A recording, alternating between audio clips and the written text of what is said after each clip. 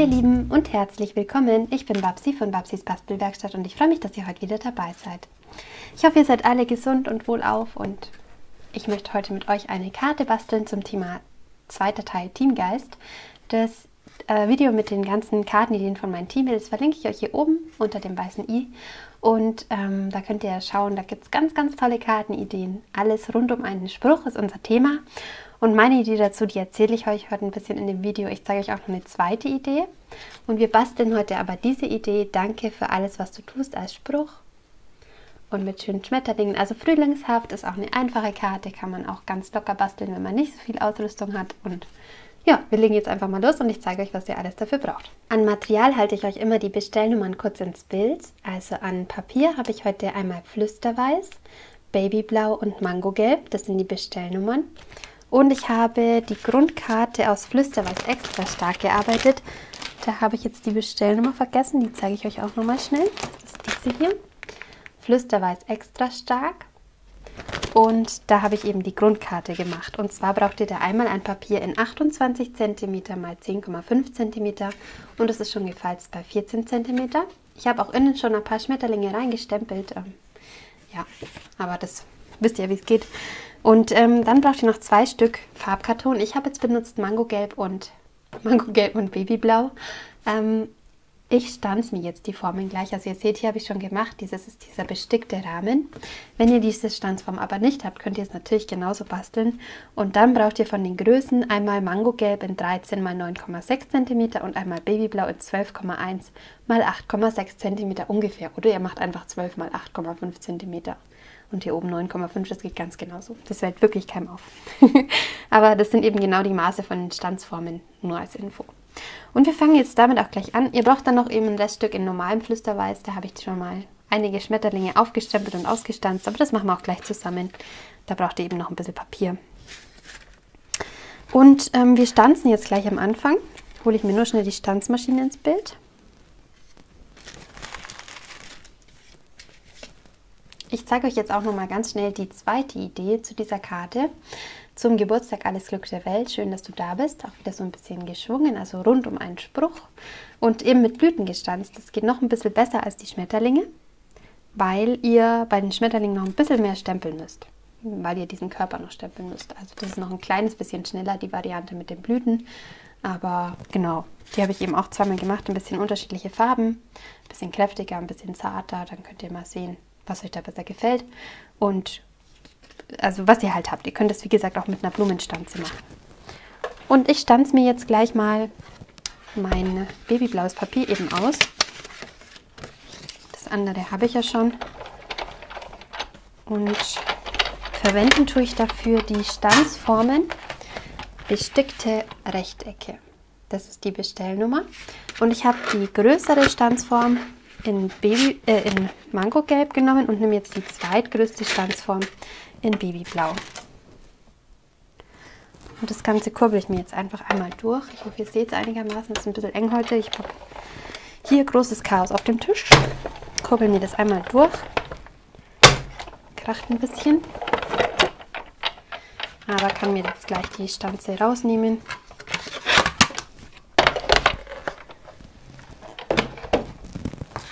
Und löse mir das einfach mal kurz eben so aus der Form raus.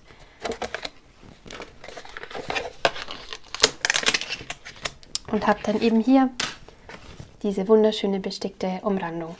Und das ist jetzt eben auf beiden Papieren und finde ich total elegant. Das macht einfach noch so einen kleinen Hingucker. okay, dann würde ich sagen, stempeln wir ein bisschen. Ne, wir bauen schon mal zusammen. Oder was machen wir jetzt? Ja, wir bauen zusammen. also, ich nehme mir einmal meinen Flüsterweiß extra stark Papier ich habe jetzt extra stark genommen, weil die zwei Tonpapiere vorne drauf liegen und dann ist es einfach ein bisschen stabiler. Ich könnte es natürlich auch mit normalem Flüsterweiß machen, aber genau. Dann nehme ich mir den Flüssigkleber und klebe mir einmal schon mal diesen... Passt das von der Größe? Ja. Manchmal vermesse ich mich dann nämlich bei der Grundkarte und dann habe ich den Ärger. ich nehme mir hier ein bisschen Flüssigkleber auf und klebe mir das erste Teil, also mein mangogelbes Papier, äh, ganz gerade auf. Genau, das habe ich ganz gerade aufgeklebt, so mit schönem Rand außenrum, so, so ganz normal wie immer. Und dann habe ich mir gedacht, dieses zweite Papier, das kleben wir uns jetzt einfach ein bisschen schief auf. Wieder ein bisschen Flüssigkleber drauf, also auch wieder ganz platt drauf und dann aber einfach schief. Das finde ich schaut ganz cool aus und ihr müsst da eigentlich nur drauf achten. Hoffentlich geht es bei mir jetzt noch. Und da war jetzt der Flüssigkleber gleich fest, aber es geht noch. Wo ihr ein bisschen darauf achten könnt oder solltet, wäre, dass ihr hier am Rand nicht über das Weiße rauskommt. Bei mir ist hier jetzt ganz knapp drüber, aber der Kleber ist jetzt so schnell angezogen. Ich jetzt irgendwie zu langsam. Aber es geht noch. Aber es ist schöner, wenn es nicht ganz so drüber geht über diese Ecke. Okay, und dann kommen wir schon zum Stempeln. Und zwar war meine Grundidee eigentlich, also das Thema ist ja rund um einen Spruch und da dachte ich als erstes, ich mache einfach einen Spruch und stempel mir diese ganzen Sprüche einmal so außenrum wie so eine große Schnecke. Aber ich habe irgendwie nicht die richtigen Sprüche gefunden und ähm, deswegen hat es dann nicht so funktioniert, wie ich mir das eigentlich gedacht habe und deswegen habe ich mir dann gedacht, wir machen das so ein bisschen anders und mit diesen Schmetterlingen macht es so eine leichte Abrundung oder eben mit den Blüten. Und deswegen habe ich mir jetzt einmal rausgenommen aus dem Schmetterlingsgruß das ist die Bestellnummer, ein großes Danke und den Spruch, für alles, was du tust, brauchen wir auch noch. Und ähm, den setze ich mir jetzt auf. Das Tolle ist nämlich an den Glassichtstempeln, die könnt ihr super biegen und könnt die dann auch ein bisschen abrunden und eben so in Form setzen. Das zeige ich euch jetzt gleich. Wenn ihr das eben wie die andere Karte gestalten wollt, dann geht das auch. Zum Geburtstag alles Glück der Welt und schön, dass du da bist. Denn da habe ich das Schmetterlingsglück verwendet, das wir nachher ja für die Schmetterlinge auch noch benötigen. Und ähm, dann könnt ihr auch alles mit einem Stempelset arbeiten. Also ihr habt hier eben auch Klarsichtstempel, seht ihr das? Ich hole mir auch gleich den Schmetterling raus, dann seht ihr das noch besser. Ich habe jetzt hier den hier genommen, aber ihr könnt nehmen, was ihr wollt. Und da sind eben die Spruchstempel auch gleich drin. Dann habt ihr eine schöne Geburtstagskarte und das wäre die Bestellnummer für dieses Stempelset. Das Tolle ist natürlich auch, dass da die Stanze dazu passt. Das seht ihr auch gleich. Und genau, jetzt stempeln wir uns aber allererst, zuallererstes mal diesen Spruch auf. Da brauche ich noch einen kleinen Stempelblock. Und das Danke habe ich mir jetzt einfach versucht, ich ziehe das Danke auch nochmal neu auf. Also wenn ich was gerade aufziehen möchte und ähm, ja, so einen Spruch habe gerade, dann lege ich mir das immer so auf die Unterlage, nehme dann meinen Stempelblock, gehe drüber und nehme mir das möglichst gerade auf. So habe ich meistens einen geraden Spruch. Nicht immer, aber meistens. Und wenn ich jetzt diesen anderen Spruch so gebogen haben will, ähm, für alles, was du tust, dann lege ich mir den jetzt hier wirklich auch schon so gebogen auf den Stempelblock und klebe mir das dann so leicht auf. Also ich drücke das dann gut an und habe das jetzt schon ungefähr in der Form, die, die, mir gut gefällt. Jetzt lege ich mir das mal auf und gucke mal, ob mir das dann auch gefallen würde oder ob ich dann ein bisschen was verändern würde. Aber ich finde, das ist jetzt eigentlich so schon ganz schön. Es ist schön abgerundet und ihr könnt es gerne einmal aufstempeln, Probestempeln auf einem Blatt einfach oder ihr macht so mutig wie ich. Ich probiere es jetzt einfach. Und nehmen tue ich jetzt hier die Memento-Tinte. Das ist also einfach eine schwarze Tinte. Ich könnte mir aber auch ganz gut vorstellen, dass hier auch schön also ich habe jetzt die Schmetterlingskörper auch schon mit schwarz gestempelt, aber ich würde sagen, es würde auch vielleicht ganz gut in Espresso-Ton passen zum Beispiel. Und stempel mir jetzt als erstes mal das Danke auf.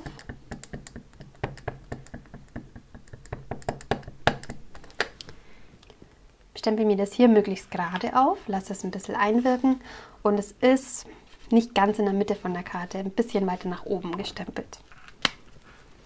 Genau. Nummer 1 und Nummer 2, der Vorführeffekt, hat sich jetzt schon ein bisschen abgelöst. Also manchmal muss man da ziemlich schnell sein im Aufkleben vom Stempeln und Abstempeln. Weil der Stempel will natürlich eigentlich in eine gerade Position. Ihr könnt das natürlich auch machen, wenn ihr das vorher anständig aufdrückt, nochmal. Nochmal gucken, ob euch das so gefällt und dann direkt gleich Stempelfarbe aufnehmen und sofort abstempeln.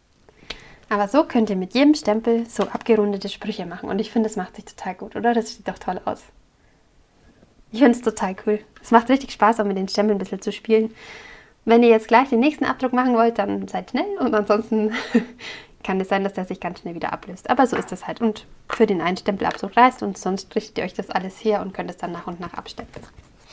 Okay, und dann habe ich mir noch ganz viele bunte Farben ausgesucht, weil ich ja wollte, dass meine Schmetterlinge richtig schön bunt sind und frühlingshaft sind. Und ähm, genau, ich habe jetzt einmal Blütenrosa ausgewählt, da steht die Bestellnummer schon drauf. Dann habe ich Glutrot, auch hier steht die Farbe drauf. Mit Mangogelb habe ich gearbeitet, weiß jetzt nur nicht genau, ja, Mangogelb. Mit Amethyst, Amethyst, ihr es noch gut lesen, ich hoffe, und grüner Apfel ist hier die zweite Bestellnummer. Und ich nehme jetzt das grüne Apfel, weil das fehlt mir noch in meiner Runde. Also ihr braucht fünf Farben. Ich habe hier noch eine andere Farbe, aber die gefällt mir nicht so gut, die machen wir weg. Fünf Farben und meine Schmetterlinge brauche ich noch und dann kann ich mir noch den letzten Schmetterling aufstempeln. Da zeige ich euch auch gleich noch einen Trick. Zuerst brauche ich aber noch den Körper vom Schmetterling. Der ist nämlich da auch drin. Das ist ein ganz kleiner Stempel. Müsst ihr gut aufpassen, dass ihr den nicht verliert. Und dann noch irgendeinen Stempelblock. Ich nehme da immer ganz so einen langen. Und auch nochmal das Memento, wie gesagt, für den Körper. Brauchen wir dann gleich. Und das grüne Apfel fehlt mir jetzt noch. Das nehme ich hier noch.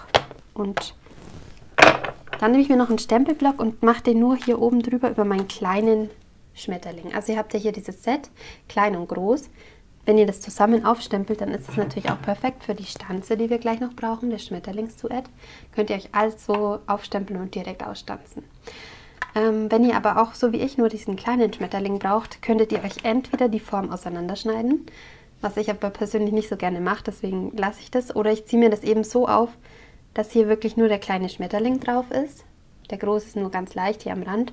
Und ich gehe jetzt so in die Stempelfarbe, ins Stempelkissen rein, dass ich eigentlich auch nur diesen kleinen Stempel benetze mit Farbe. Gucken, dass überall die Farbe dran ist, auch am unteren Rand. Aber dass man nicht unbedingt den anderen Bereich von dem anderen Schmetterling mit stempelt. Und dann stempel ich mir das einfach ab. Als kleinen Tipp, wenn ihr euch die Stempel so aufstempelt, so und nebeneinander und nebeneinander in dieser waagerechten Linie, dann stanzt ihr euch immer bei der Stanze so ein ganz kleines Teil von diesem anderen Schmetterling auf. Ja, das zeige ich euch jetzt gleich. Ich mache jetzt hier nochmal kurz den Körper rein in Memento.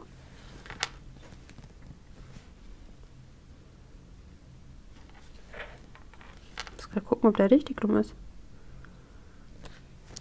Ja, passt, oder? ähm, das zeige ich euch jetzt noch kurz. Ich stanze mir den jetzt ganz schnell mal aus hier. Ich hoffe, ihr kriegt gar nicht so viel von den Hintergrundgeräuschen mit. Ich habe das Fenster offen.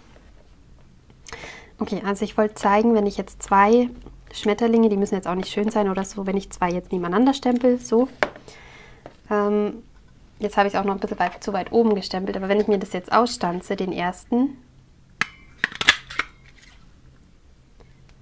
und dann den nächsten, da kann es eben sein, so war es bei meinem ersten Versuch, dass ihr euch hier unten seht ihr das, dieses kleine, diese kleine Wölbung von dem anderen Schmetterling hier mit ausstanzt.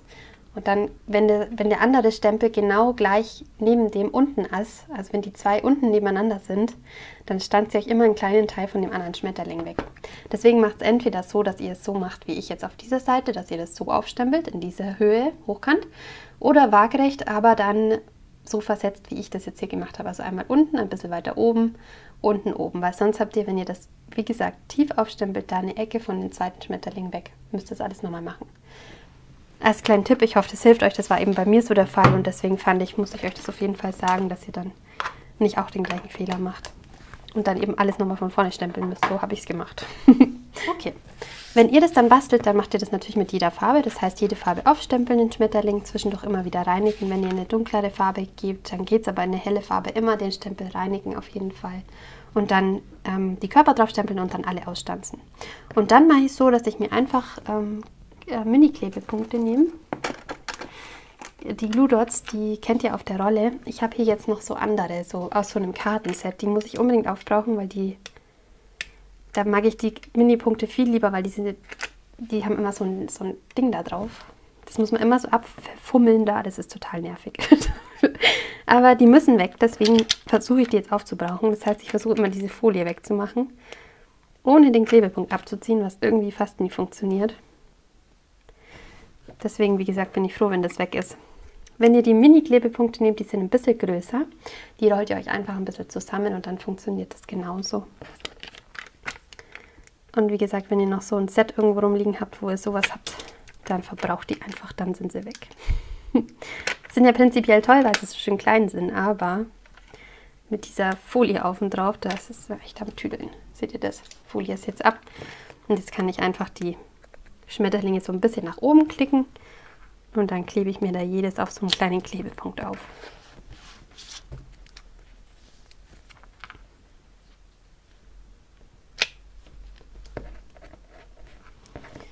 So, und dann kann ich mir alle Schmetterlinge so farblich, könnt ihr euch die entweder anordnen wie so ein kleiner Regenbogen oder ganz durcheinander. Ich habe es eigentlich so gemacht, dass ich die dunkelste Farbe tatsächlich unten hin gemacht habe, so in etwa. Ihr könnt euch das auch einfach mal erstmal auflegen.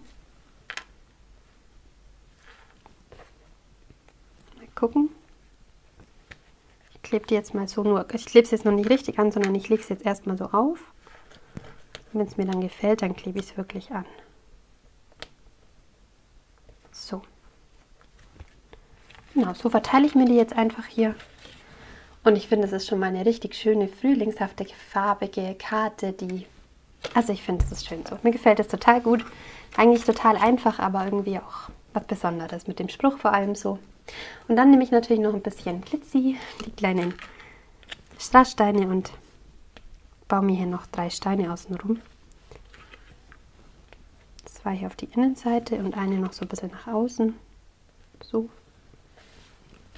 Ja, schon war es das. Also wie gesagt, ich habe dann innen noch ein paar Schmetterlinge reingestempelt in den Farben, die ich eben auch außen verwende und habe hier jetzt gleich eine schöne frühlingshaftliche Karte,